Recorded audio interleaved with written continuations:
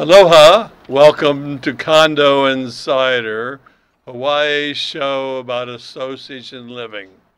Anyway, I'm Richard Emery, your co-host or your host today. You may have missed me the last six or eight weeks. I was uh, on vacation visiting the fires in Sydney and uh, had some business obligations, but I'm glad to be back and all is well. And today's a very important day in Hawaii. It's January 23rd, 2020, the day of the cutoff for the bills for the 2020 legislature. And to date, we still haven't got all the records from today yet, but it looks like we have about 14 bills introduced that affect condo living. And I have as my co host guest today the wonderful Jane Sugimura. Welcome, Jane. Hi, hi, Richard. Happy New Year. Happy New Year. That is Chinese New Year tomorrow. You know. Right. So um, I'm going to a Chinese New Year celebration tomorrow. But anyway, the legislature. I know you and I have been looking at what we've seen so far. We don't have final opinions, but let's begin with a couple of the bills we see one long needed Senate Bill 2200 regarding the famous emotional support animals. What do you know yes, about that? Uh, yeah, yeah. That that's a, a very interesting. And the reason it, I, you know, and, and Senator Sharon Moriwaki introduced it at uh, at our request, uh, Hawaii Council's request, uh, because we had, uh, a, you know, a, a lot of uh, concern about the people who, the, the licensed professionals who were writing the letters uh, that were being given to boards of directors uh, for animals that were not, uh, you know, the, uh, what do you call it, the, um, uh, the, specially trained, the service animals, uh, the emotional support animals.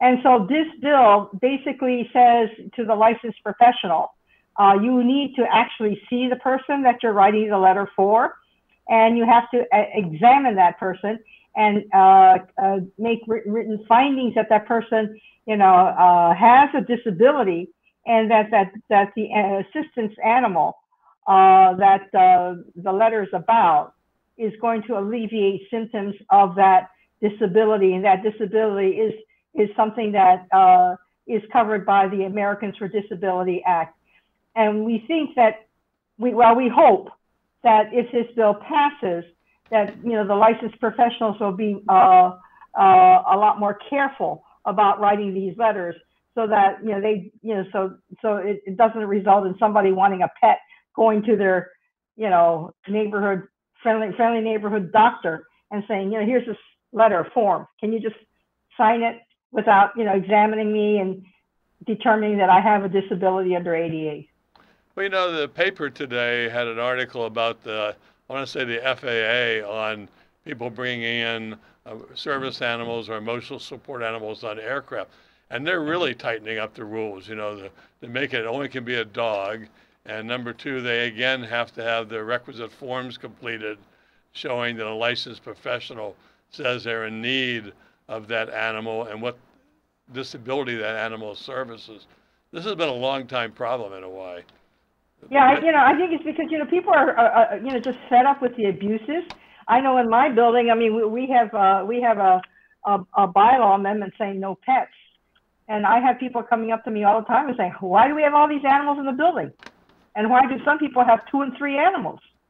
You know, uh, they can't all be service animals, and and you know, so but you know, we get these letters and they're signed by a doctor or a psychologist or a licensed social worker. I mean, and and it says what it says that the person has a disability and needs the animal. I mean, we really don't have any choice uh, but to allow it to happen, allow them to have it.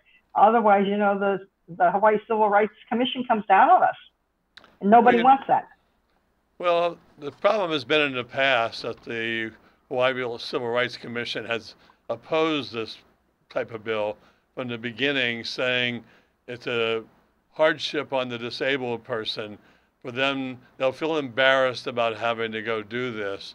And, you know, I think it's a time in our society that people have to rationalize and justify Otherwise, there's abuse. So hopefully right. we'll get. And you know, I, and I've heard from some, you know, from some disabled people that that they really don't mind something like this because you know they're you know because they they are aware of the abuses and it makes it harder for them. I mean, the the truly disabled people who really need need to you know have uh, the uh, house rules or the regulations you know dealing with pets modified so that they could have them and so it just makes it, it, it makes it harder for them. And so, you know, this bill, I think, is going to truly uh, protect those people who really are disabled and uh, are entitled under the federal law uh, to have the, the house rules modified so that they can have this animal live with their them in their units. Well, the other thing that I see in the in the list, we have a lot of bills, so we're gonna kind of touch on them lightly today and then come back in the next week or so and talk about each one in more details and the right. pros and the cons.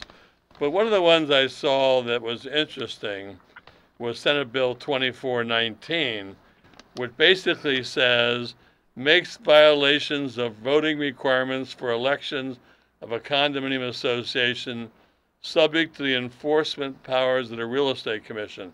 And I believe there's a companion House bill on this as well. Yeah, I was looking at that. I was looking at that and I'm thinking, what kind of, I mean, it, it just makes it very vague. It says, what, I mean, it's violations of voting requirements. And I know, you know, we have, you know, over the years, we've seen, you know, various uh, complaints being made, you know, about pro- improper proxies and maybe the ballots weren't counted correctly but you know there are already provisions for holding the the proxies and the ballots so that the people who are objecting to maybe the result can yeah, go and look at them. I, I, I hear from a very small group every year that the sky is falling, but I haven't seen it in practice.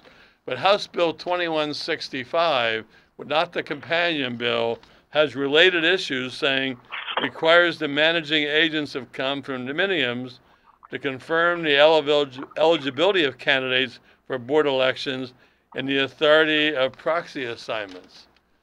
I, and I haven't looked at that closely yet, but first of all, a lot of condos don't have managing agents. What do they do?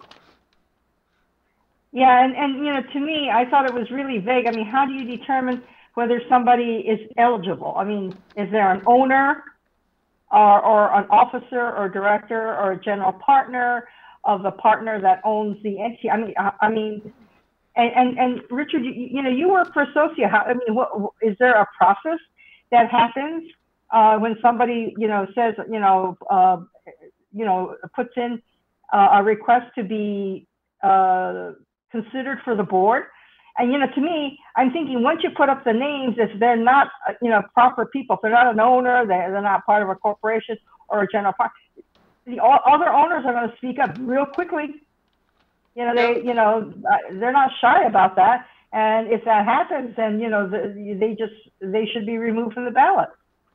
Well, all condominium managing agents have a list of owners, and it basically matches the tax records on who the owners are.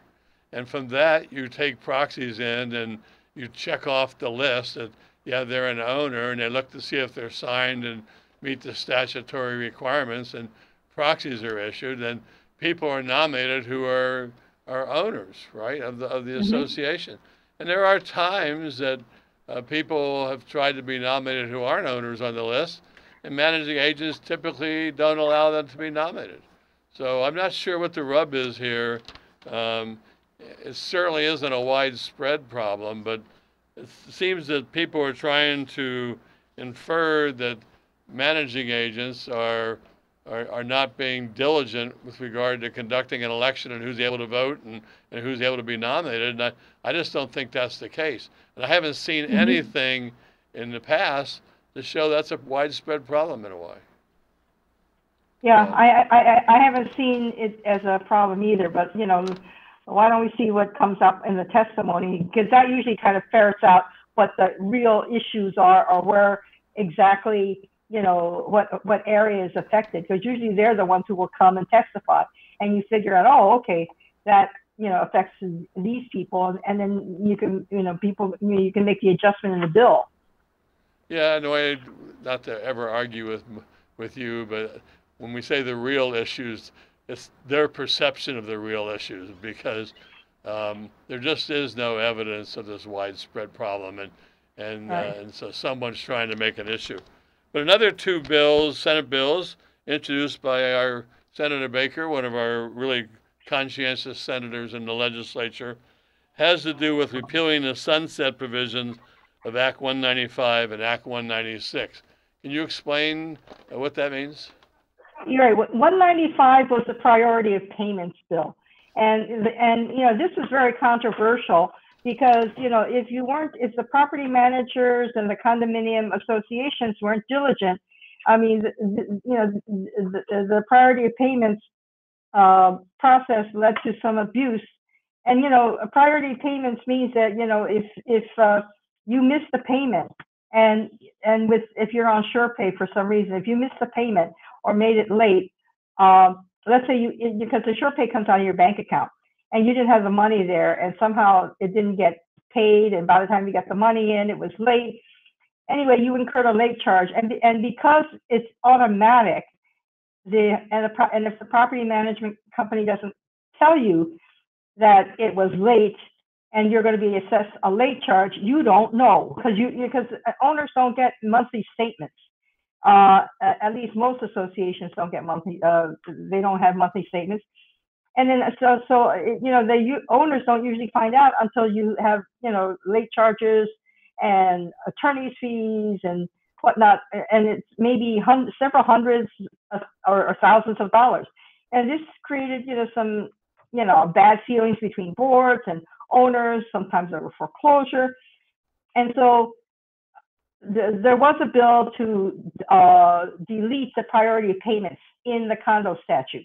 And that doesn't mean that the associations can't collect um, late charges. It just means that, you know, you, it doesn't go to the top of the list so that when the, uh, the, um, uh, the next month's uh, maintenance fee becomes due, it doesn't get applied to the late charge first so that you're always late. What was Act 196? 196 190, 196 was uh, one that uh, uh, introduced uh, binding, voluntary binding arbitration, and it expanded the mediation statute to add other people because before it was just uh, the owners and the board, and now you you know bo uh, board members can you know who are have disputes against each other and the managing agents, you know they they are now additional parties and there are additional some other changes regarding the mediation where if you uh, uh, if you uh, ask for mediation, evaluate mediation, and you don't get it, then you can file a motion to compel and recover up to fifteen hundred dollars in in uh, legal fees, you know, for that effort. And I think the, the, the sunset provisions in both acts were put into the uh, bills at in conference. So it, the, the, the sunsets weren't, you know, part of the public debate process. And I think they were put in because, you know, the legislators were concerned that there might be abuse. And, you know, for, for both of them, they've been in effect for a year now. There has been no abuse. And, you know, I think it's a good thing that the sunsets are going away. Yeah, I agree because what we're basically saying the sunset is both these are already laws, Act 195, 196 but they expire at the end of this year or sometime I think this year or next. And what this no, bill June, the, the priority payments sunset is June 30th of this year, 2020. Okay. And so what this does eh. basically is eliminate the it sunset it so it continues on. So on that note, we're going to take a short one-minute break, and we'll come back and discuss a few more of the bills that have been introduced that we'll be debating over the next couple of months. We'll be right back in a okay. minute. Aloha. My name is Wendy Lowe, and I want you to join me as we take our health back. On my show, all we do is talk about things in everyday life, in Hawaii or abroad. I have guests on board that will just talk about different aspects of health in every in every way, whether it's medical health, nutritional health, diabetic health, you name it, we'll talk about it. Even financial health. We'll even have some of the Miss Hawaii's on board and all the different topics that I feel will make your health and your lifestyle a lot better. So come join me. I welcome you to take your health back. Mahalo. Aloha, my name is Duration. You are watching Think Tech Hawaii. I will be hosting a show here every other Wednesday at 1 p.m., and we will be talking to a lot of experts and guests around sustainability, social justice, the future here in Hawaii, progressive politics, and a whole lot more. So please tune in, and thank you for watching Think Tech Hawaii.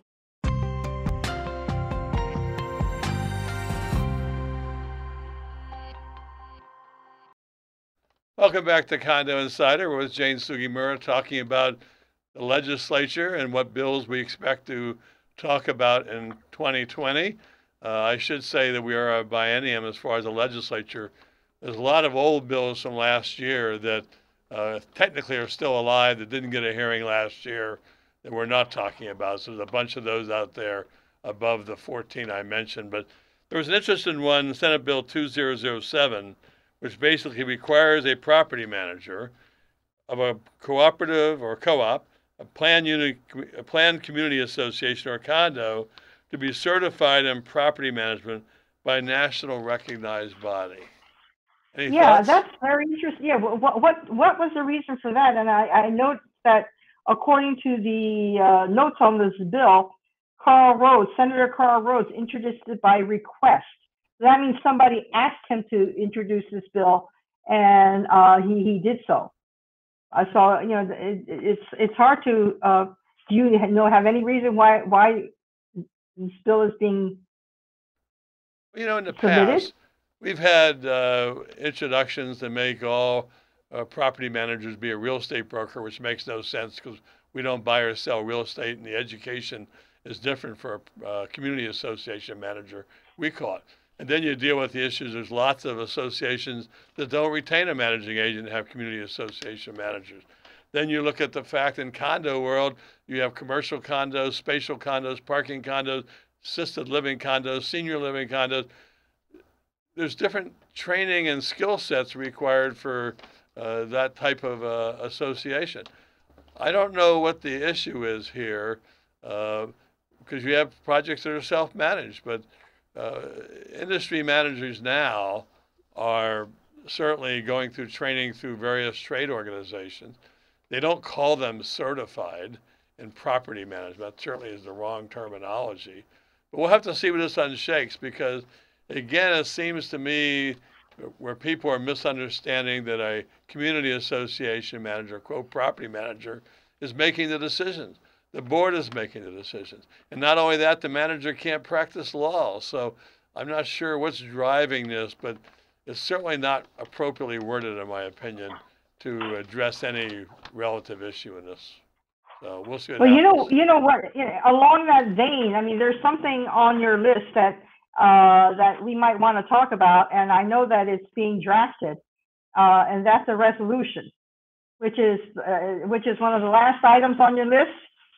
And, and, and that's a resolution uh, that calls for a task force to be set up to uh, come back with recommendations to the next legislature in 2021 with a with legislation that would mandate that all condominium board members be educated and certified. And the reason for that is so that the board uh, and, and that you know goes along with a lot of these bills that want the property managers to be certified and, and, and licensed and whatnot, because the, the, the, a lot of unit owners believe that somebody needs to be responsible. And if there is a law that says that board members have fiduciary duties and shouldn't, you know, get involved in conflicts of interest, shouldn't um, uh, do selective enforcement, and you know, when you talk to some board members, they don't even know what you're talking about. And so, uh, and, and the legislators have been asking for this for a long time to to cert, you know mandate education of board members and certify them. So if they serve on a board, I mean uh, they have to be uh, certified.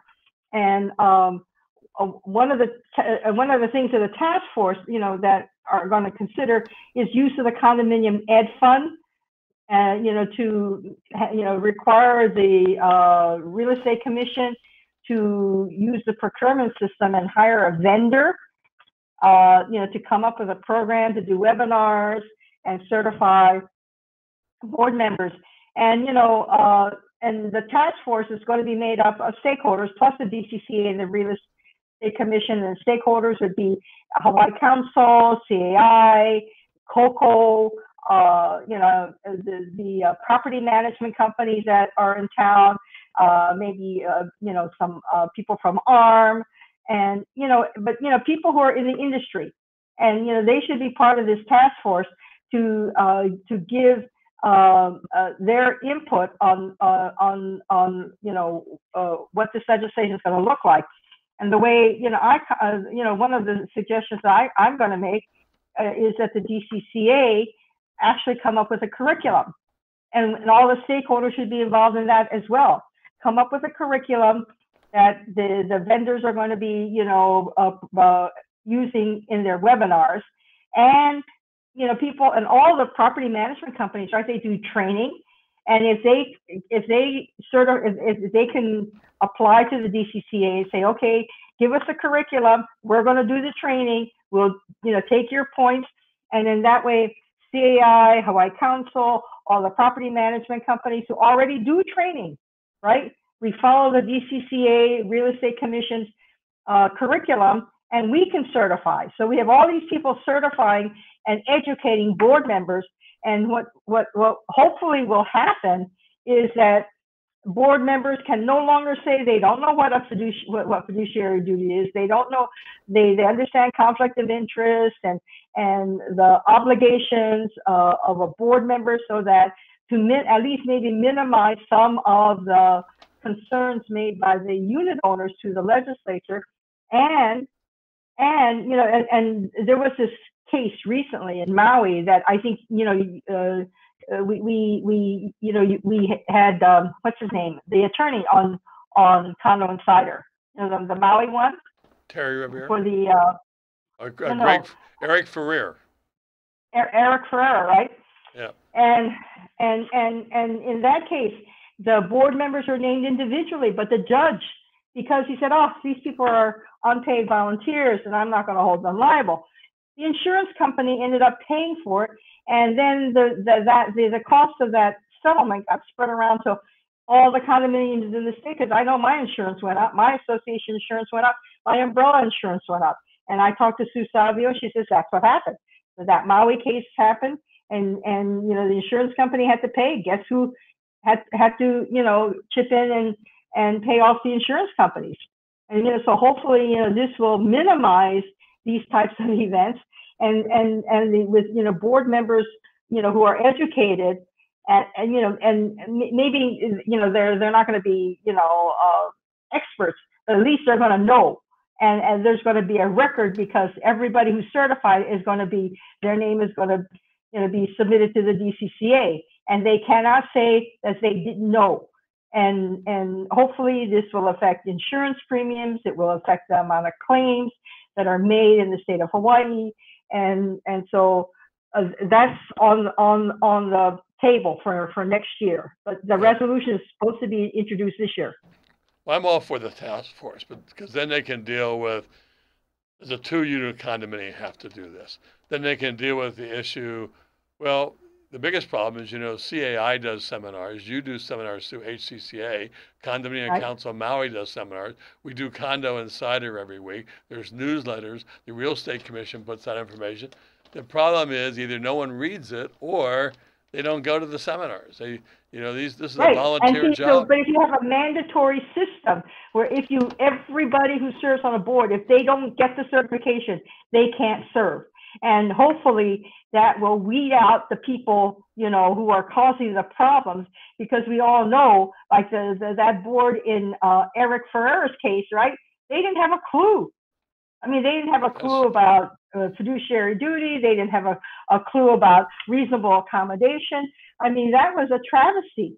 And you know and if they had known or they had people who who who, who knew what the law was then maybe they wouldn't have ended up in the lawsuit and you know we wouldn't have had a 2.9 million dollar judgment entered against an association. Yeah, I think my point is as follows: that education is good, but it needs to be the basic responsibilities. You don't need to train the board to be property managers. you know, then you're going Right. to have nobody wants to go because it's going to become too difficult.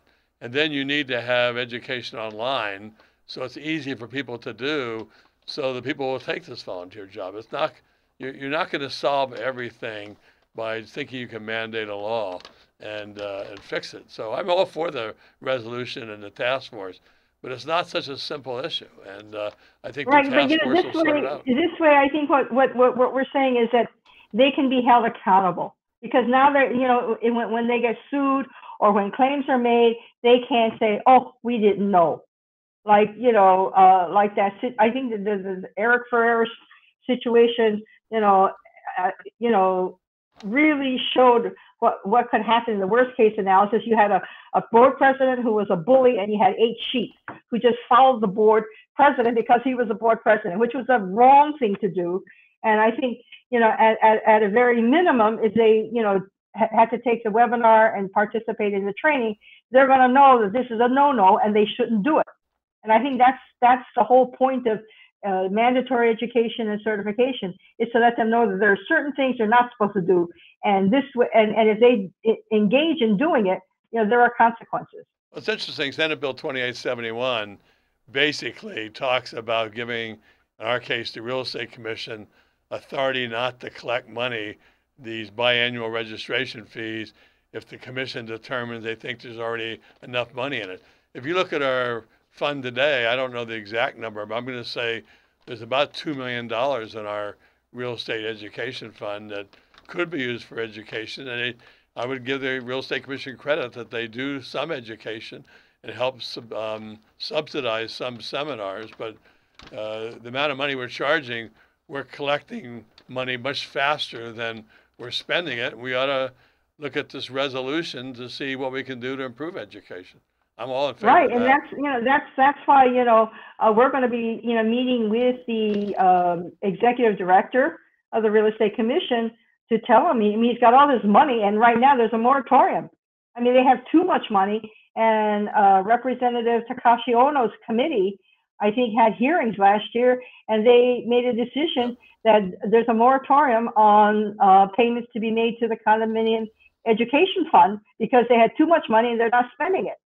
I'm going to wrap this up now. We're end of the show. We're going to have lots more conversation in the coming weeks on bills that survive and don't survive. As always, I love working with you on this show. I love the educational opportunities for our association boards and management company and others out there. So I want to thank you for working with me today on this. I look forward to looking at the final list of bills, having a couple of glasses of wine, and then maybe having a couple more glasses of wine. But anyway, thank you for being on the show, and, and we'll see you all on Condo Insider. Uh, tune in next Thursday, 3 o'clock. Aloha.